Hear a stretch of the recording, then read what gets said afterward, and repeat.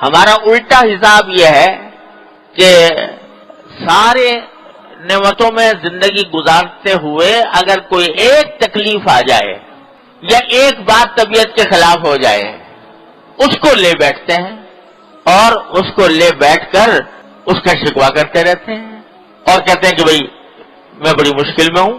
लेकिन हज़ार हा नेमतें, अल्लाह तो हज़ार हा नहीं, लाखों, करोड़ों, अनगिनत उनकी तरफ़ ध्यान भी नहीं जाता। एक मतलब मेरे शेख हज़रत आरिफ कदस अल्लाह तला तला उनके दर्जात बुलंद फरमाए, सख्त गर्मी पड़ रही थी कराची में और लोग गर्मी से बिलबिलाए हुए थे। तो किसी ने हज़रत की मजलिस में या कहते हज़रत, आजकल गर्मी बड़ी सख्त है। तो हज़रत ने फरमाया कि, भाई, तुम्हें गर्मी की सख्ती तो याद रही, लेकिन इस गर्मी के नतीजे में अल्लाह तबारक वाली ने क्या क्या नेमतें दे रखी हैं, उसकी तरफ़ ध्यान न हुआ। ये गर्मी जो है, कितने जरासीम को मार रही है, कितनी बीमारियाँ इसकी वजह से दूर हो रही हैं। इस गर्मी के नतीजे में कितनी खेतियाँ पक रही हैं, कितने फल पक रहे हैं। ये गर्मी ही तो है, जिसके नतीजे में फ़सलें तैयार होती हैं, जिसके नतीजे में फल फल पकते हैं।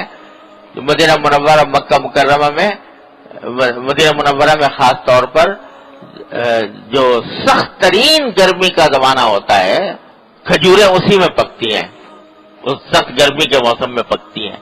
तो गर्मी तो बहुत शदीद होती है, लेकिन इतनी होती है कि बाज़ात फजर के वक्त में भी महसूस करता है कि लू चल रही है, फजर के वक्त में भी।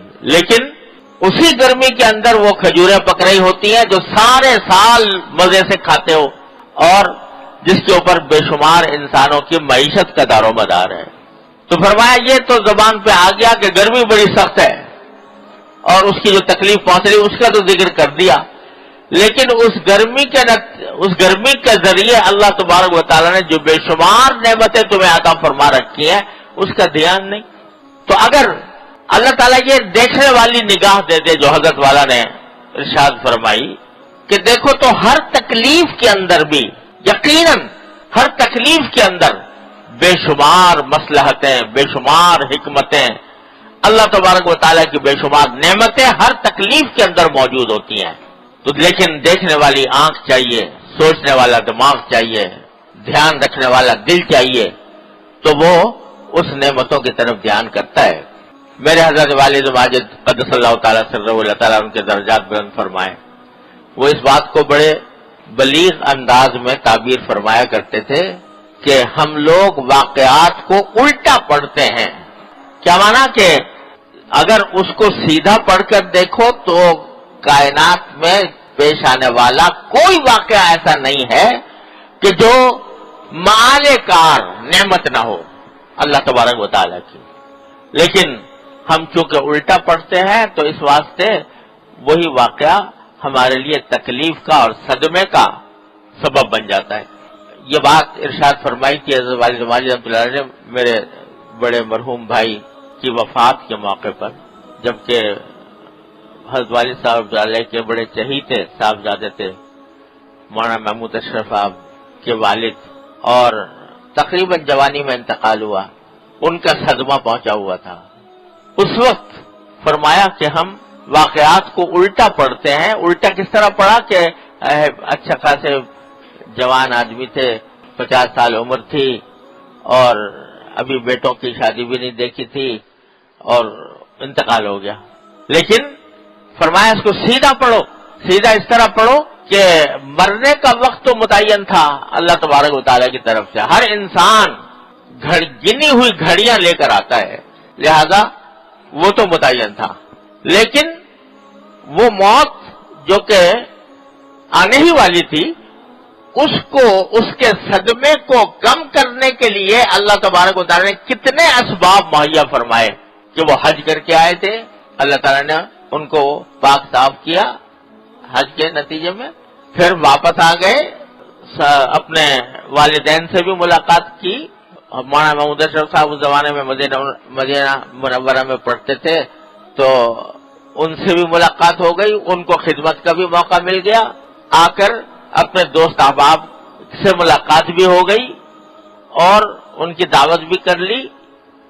तो वक्त तो आना था, लेकिन उस आने के लिए अल्लाह तबारक बता रहे कैसे असबाब जमा फरमाए कि उसके नतीजे में वो वक्त, उस वक्त के आने से पहले अल्लाह तबारक वाली ने ये नेमतें अता फरमा दी। तो फरमाया, यह है सीधा पढ़ने का रास्ता। और हम हर वाक़े को उल्टा पढ़ते हैं। उसके नतीजे में घबराते हैं, परेशान होते हैं, शिकवे पर शिकवे करते हैं। वरना अल्लाह तबारक वाली की नेमतों का, नेमतें हर बड़ी तकलीफ़ दे हालत में भी अल्लाह तबारक वाली की तरफ़ से बीमारी तो आ गई, लेकिन कितने तीमारदार मुझे मुयसर हैं। अल्लाह ताला ने इतताब दी है कि मैं उसका इलाज कर सकूँ। मेहरबान मालिज मौजूद है। इन नेमतों का तस्वुर करो तो ये सीधा पढ़ना। और कह, भाई अच्छा खासे हम ठीक ठाक तंदुरुस्त थे, सब काम कर रहे थे बैठे बैठाए बीमार पड़ गए। ये उल्टा पढ़ रहे हो, वाकई को। कोई इंसान ऐसा नहीं है कि जिसको ज़िंदगी में कभी न कभी बीमारी पेश ना आए, लेकिन बीमारी पेश आने के साथ अल्लाह तबारक ने कितने असबाब दे रखे हैं राहत के और उस तकलीफ़ को हल्का करने के, इसको भी तो और करो। मेरे वालिद माजिद सुनाया करते थे कि हज़रत के उस्ताद थे हज़रत मियाँ साहब रमतुल्ला हज़रत मौलाना सईद असगर हुसैन साहब रमतुल्ला तो उनके बारे में हज़रत वालिद साहब को इतना मिली कि बीमार हैं तो इयादत के लिए तशरीफ़ ले गए। हज़रत को उस वक्त बहुत शदीद बुखार था, शदीद बुखार था, तेज बुखार, जल रहे थे बुखार में। तो हज़रत वालिद साहब रमतुल्ला ने जाकर पूछा कि हज़रत, कैसे मिलाज हैं? तो फरमाया, अल्लाह ताला का शुक्र है कि मेरे आँख सही काम कर रही है। अल्लाह ताला का शुक्र है, मेरे कान सही काम कर रहे हैं। अल्लाह ताला का शुक्र है, दिल सही तरह धड़क रहा है। अल्लाह ताला का शुक्र है कि मैं बात कर सकता हूँ। अल्लाह ताला का शुक्र है कि मैं बैठ भी सकता हूँ। अलबत्ता थोड़ा बुखार हो गया है। दुआ करो, अल्लाह ताला वो भी दूर फरमा दे। तो जितनी तकलीफें नहीं थी, उनका पहले ज़िक्र किया कि ये नेमत मैसर है, ये नेमत मैसर है, ये नेमत मैसर है, ये नेमत मैसर है। ये थोड़ी सी है, अल्लाह ताला इसको भी दूर फरमा दे। अल्लाह ताला ये हमें अपने वाकयात को सीधा पढ़ने का आदि बनाए तो अल्लाह ताला की नेमतों का पता चले, और नेमतों का पता चलेगा, जितना जितना उस पर गौर करोगे, उतना ही अल्लाह जल्लू की मोहब्बत इंशाला पैदा होगी। तो नेमतों का इस्तेदार उस पर शुक्र, इसकी आदत डालने की ज़रूरत है। सुबह से शाम तक, न जाने कितने वाकयात हमारे साथ गुजरते हैं जिनसे राहत मिलती है। बस गुजरते चले जाते हैं, वैसे ही गुजर जाते हैं। कोई मेरा हक था, मुझे मिल गया। अरे, उस पर अल्लाह ताला का शुक्र तो अदा करो। ये तो कहो कि मेरे परवरदिगार ने मुझे ये नेमत दिया है। नेमतों का इस्तेदार आदत डालने से होता है। मश्क करने से होता है तो जितना जितना ये इस्तेदार होगा, अल्लाह ताला की रहमत से इंशाला उतनी ही मोहब्बत पैदा होगी।